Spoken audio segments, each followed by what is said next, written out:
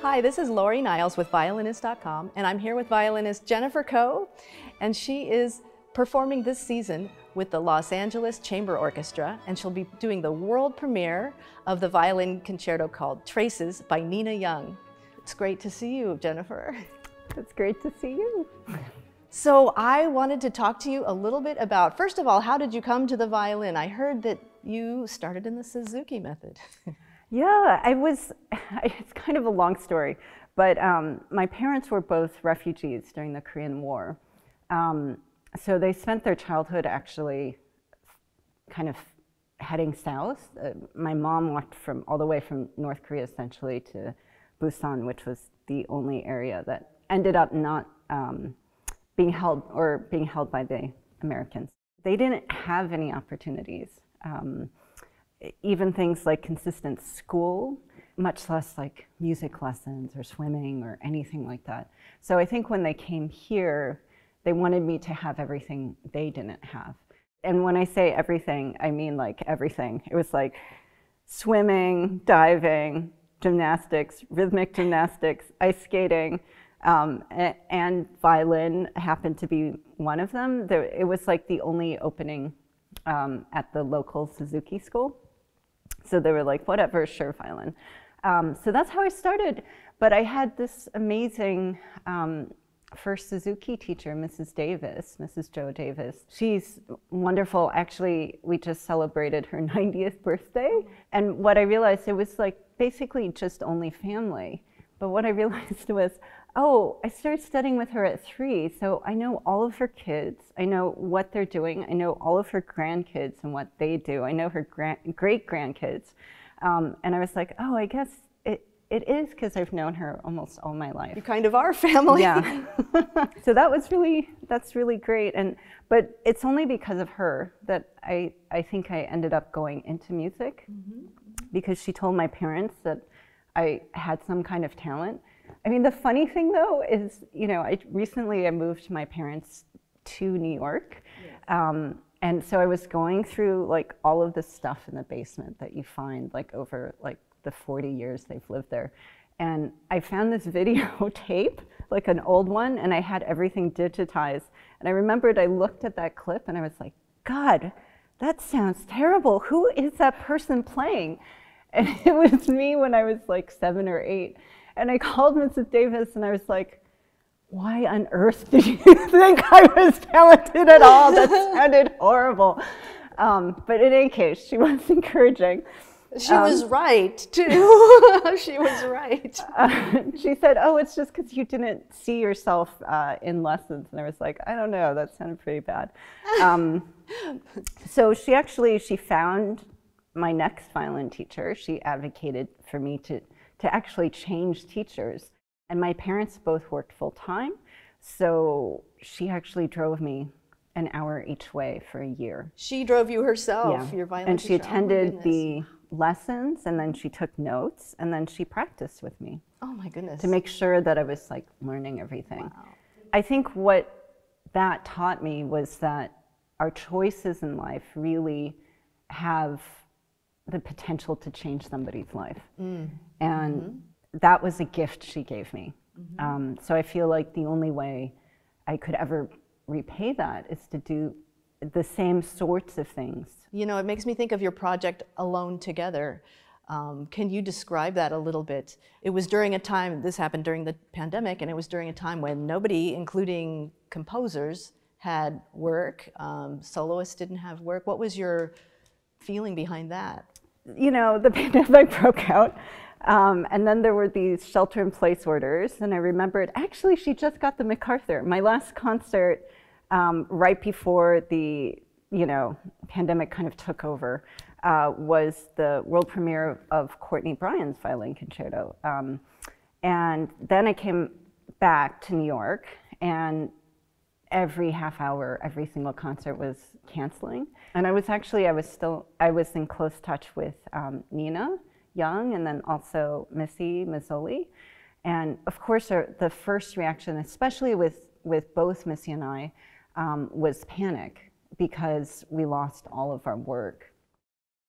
you know, I realized actually, you know, we're lucky. We didn't actually 100% lose the work. Our work was postponed um, because we're in a certain point Yeah. um, where things weren't just purely canceling.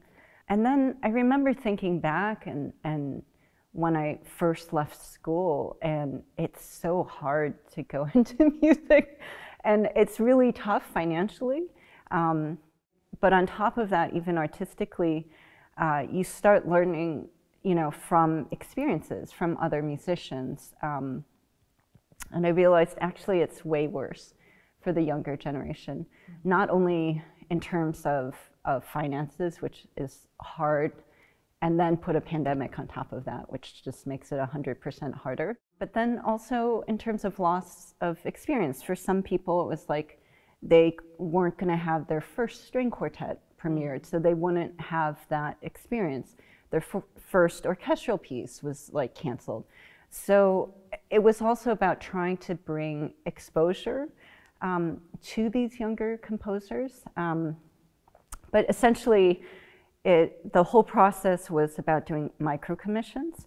Uh, so 30 second pieces uh, written for solo violin. And um, I went to my friends and colleagues who had uh, kind of institutional support or, or full time uh, salaried positions um, and asked them to uh, identify a younger freelance composer that they believed in or felt kind of musically connected to. At that time, they donated their work, and then I commissioned uh, the younger composer. But actually, what makes me the happiest is like when they've come to me and told me, "Oh, this person heard." heard my piece on, on the series during the pandemic and they commissioned me after Mm. and that's actually for me that was that was the most satisfying So your choice to do these small commissions turned into some more commissions for these composers and Yeah. helped help them on their way, kind of like your teacher helped you. Oh, on, Mrs. Davis. I mean, I have so many people that helped me along the way. So I still feel like I have to, there's so many people I have to thank, including my last teacher, Jamie Laredo. So I feel like I'm not thanking everybody.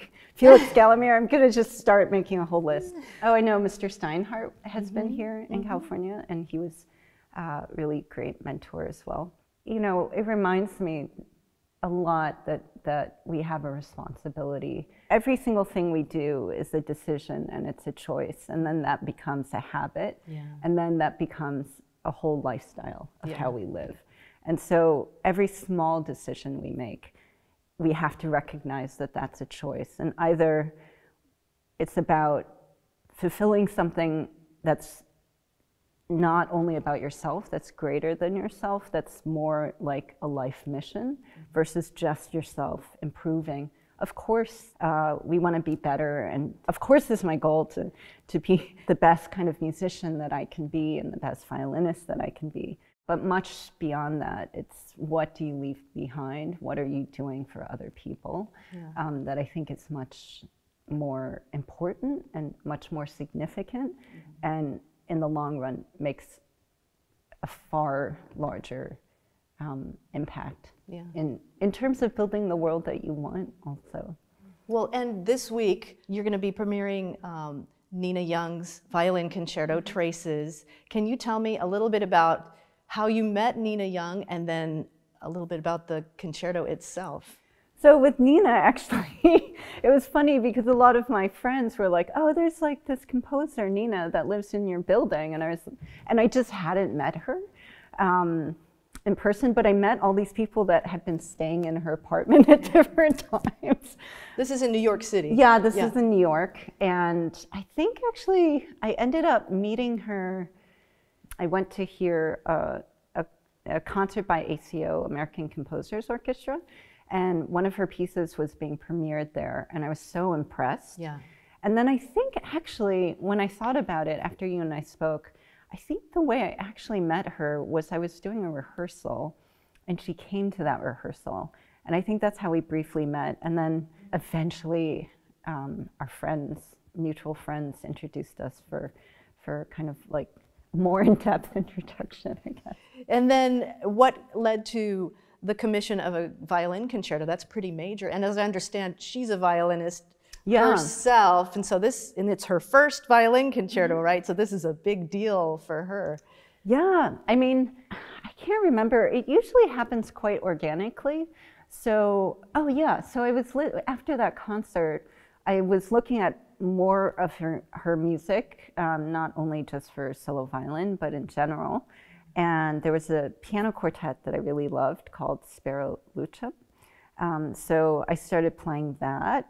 There were several other pieces for violin and electronics uh, that I started performing with her, actually.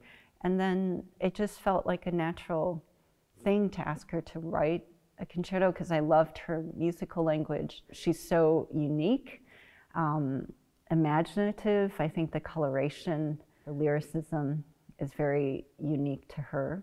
Um, and then the fun part, I mean, honestly, in a lot of ways, this is like the most technically challenging, but it's kind of actually fun because um, because she is a violinist. There are things like running thirds and tenths and stuff, which usually, like nowadays, people don't really write so much. So it's, but she also she knows how to write it for violin, which is like in terms of even it's hard to describe like patterns and stuff. And I remembered I told her like during the pandemic, I don't know, on a personal level, I was like, oh, I should just go through all the Paganini caprices again. Um, and oh, I'm just going to go through all of the um, like Carl Flesch scales. And I don't know, so maybe that got like planted in her head a little bit. And, and that's where these different sections came in. Um, but I don't know that the audience would necessarily like notice it. It was more like on a violinistic um, level. It was it was fun for me So to see. It has like violin in jokes, this, this I don't know concerto, maybe. jokes as much as like just um, References. maybe references. traces, I guess. Yeah. but Maybe you started references. this Yeah. Whole thing started before the pandemic, and then tell me a little bit about like how your relationship. You guys were both in the same apartment complex, alone during a pandemic. I mean, I have to say it was terrifying. In March and April of 2020, um, I think both she and I were experiencing it literally like five floors apart. Um, and because at that time, uh, New York City was so um, being really devastated by the pandemic in terms of literally human loss of life. Um, it was terrifying. We we didn't even leave our apartments. I think, or I know that neither of us interacted with another human being for six and a half weeks. That is a really person. long time. And I think we just, or at least I can say I started losing it. There is something that I posted on Instagram, um, but I think most people haven't seen it. And I, I had considered like removing it because it kind of shows like how crazy and intense and like it had gotten between like for both she and I. Yeah, so if you see that, you can kind of see like where psych- psychologically we were unraveling. So you were psychologically unraveling, and you reached out to each other. It sounds like. Yes, but it was kind of amazing because it human beings really are social animals.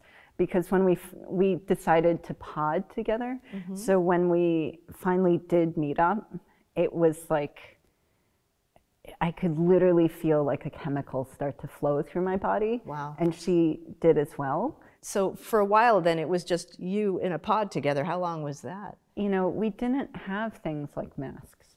Mm-hmm. And New York is such a concentrated area of human beings. Yeah. So, like, even walking into hallways, all of that is so uh, kind of tight that it, it was still quite scary for a long time. Um, and eventually, I think once masks happened or we were able to access them and uh, once we learned kind of how it was spread, then we started doing more things outside. We did things like I would never normally do. Like, well, I mean, I did it as a student, but we started biking outside. And then I remembered the moment that, like, uh, I, you know, at that time it was like video concerts. Yes. Um, so the first time I got like a video concert where I actually could have income, I was like, okay, biking done. but for a while, we were like going down like the Hudson Greenway um, on bicycles. Well, so how do you feel about having this um, violin concerto come to life with LACO? Oh, I love LACO. I mean, I, I love the individuals, I love the orchestra, I love the individual musicians in the orchestra. First of all, they're great musicians, but second of all, they are such dedicated um, musicians to, to serve the music. Yeah. And that is something that I just admire so much. I remembered actually Margaret, uh, I think this was before we did the Ligeti violin concerto. She, I think she actually called me and she was like, "Don't you think we need extra rehearsal?" And I was like, "Yes, I think we need extra rehearsal." So the concert master doesn't always call you to talk about stuff like that. Well, to actually request more rehearsals, yeah. not not always, no.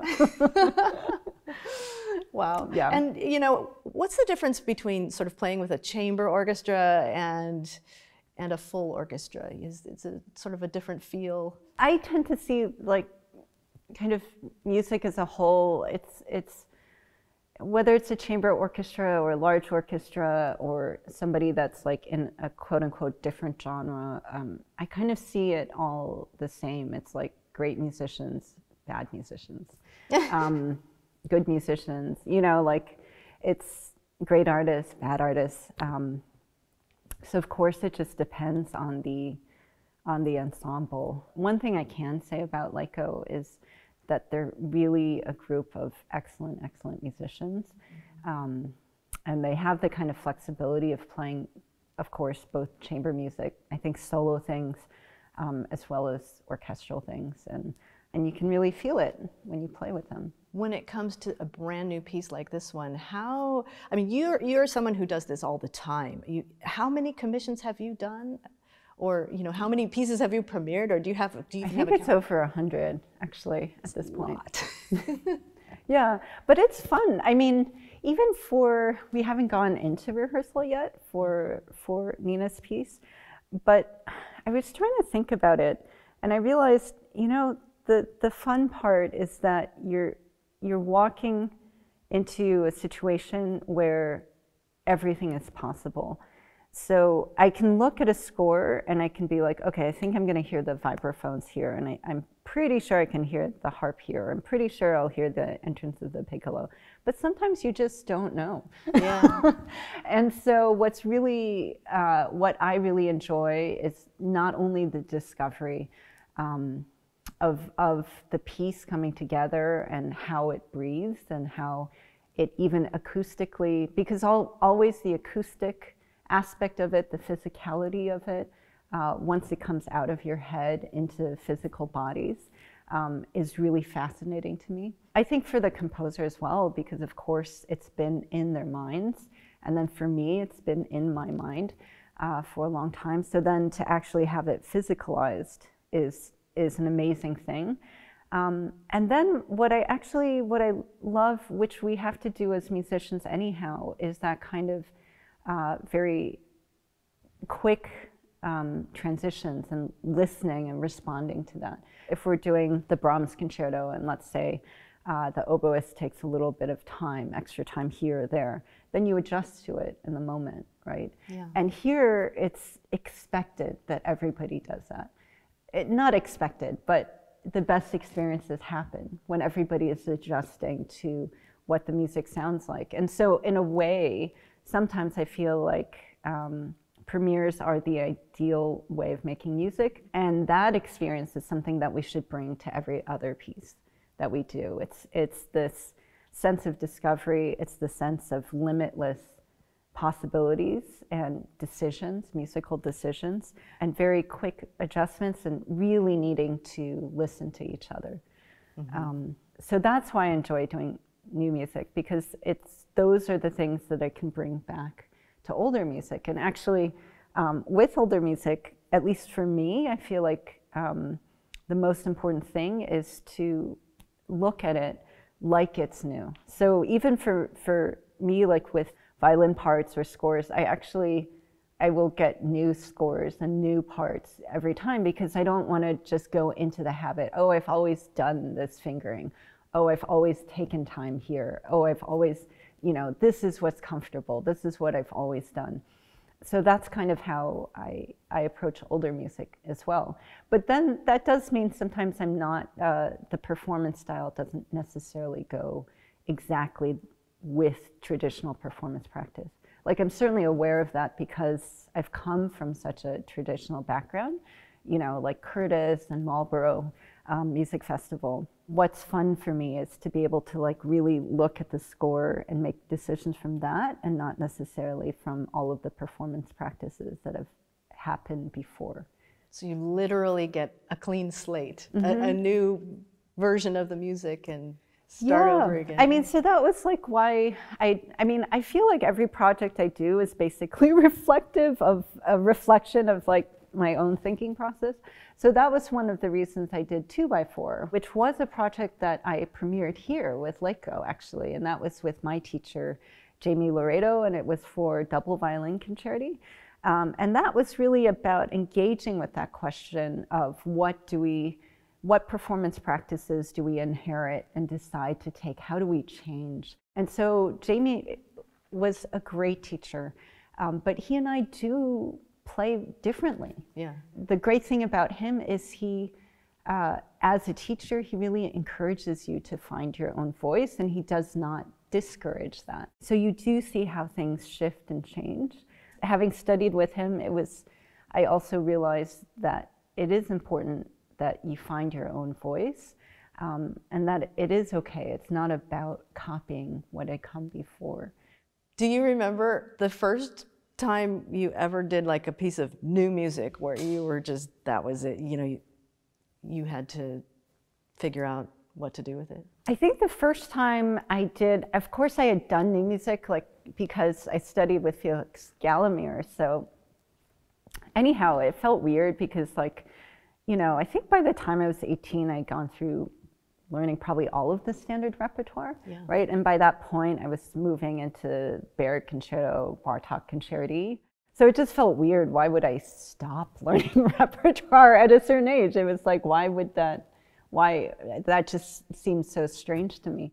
But it was, I do remember actually specifically the, that the John Zorn Concerto was the first piece that was like literally a couple months old when I mm. when I first performed it, and and that was working with a composer that I didn't know. I had recorded Giancarlo Menotti's violin concerto, but I had known him as a person for years from Spoleto Music Festival, and I remember being very very um, scared about it. But now when I look back, I realize every single thing that I was scared about doing was an incredibly important thing that I did. Um, so that was the first kind of concerto, and that was, I think, really the the first. And I was terrified of doing it. Yeah, what were you scared about? First of all, it was hard. Second of all, it was you know really having to make every single decision and finding strategies, even in so far as like fingerings. Mm-hmm. Like a lot of his stuff is super high and it's moving up and down. Yeah, so that that was was scary. And then making all of these purely musical decisions with absolutely no performance tradition from before. Mm-hmm. But then that kind of started my once I got through the fear, that's kind of what started my kind of love of that process. I mean, now you've done it a hundred times. yeah. But then I remembered the other thing that was terrifying to me was performing Bach, solo Bach in public. Mm. But having done that was one of the most satisfying and important things I've done, yeah. I think. Um, playing Einstein was one of the most terrifying things for me, but that led to one of the most artistically satisfying and I think uh, significant things in my lifetime, which was actually then became a combination of working with both Robert Wilson and Lucinda Childs to do all six sonatas and partitas staged and choreographed. So all of the things I've been terrified of actually uh, have led to incredibly meaningful, important things in my life. Yeah. So in other words, everybody should do what they're terrified of. and and don't be afraid of failure. Like it's okay um, to fail. It's really about how you pick yourself up after that. And it doesn't kill you. It really doesn't. It might feel really bad for a while, but it does not kill you. so you live in New York City. Mm-hmm. How do you feel about LA. Actually, I, kn- I know like there's there seems to be this weird East Coast West Coast rivalry. I don't quite get it because I actually I love Los Angeles. It's so I love New York. different from New York. And actually every time I'm here and I think a lot of the most recent times I've been here have actually been with LACO and and every time I come here, I'm like, I should really live in Los Angeles. Why does a little part of you at least want to live in Los Angeles? It's not a little part, is the thing. it's not a little part. It's like a very different, I think, kind of philosophy of living. Um, New York is so, it's so densely populated, and it's so, it's like a very direct city in the sense that everything's like moving very quickly, all like in this direction. And if, you know, it's clashing, everybody's still moving in their directions.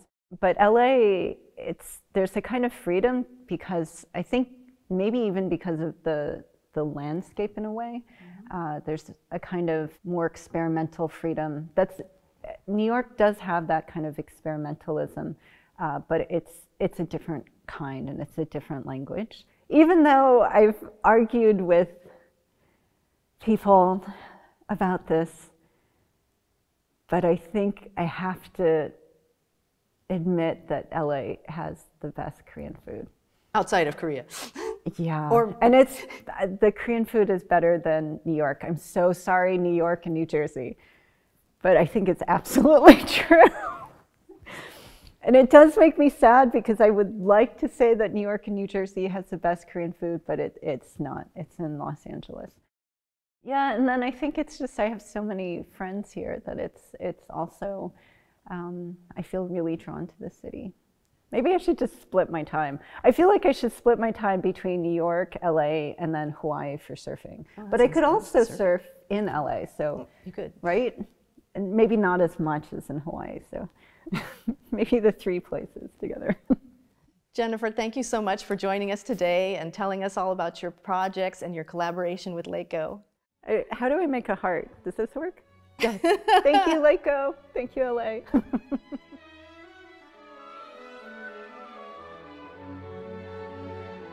I feel like it looks like misshapen. Is it okay?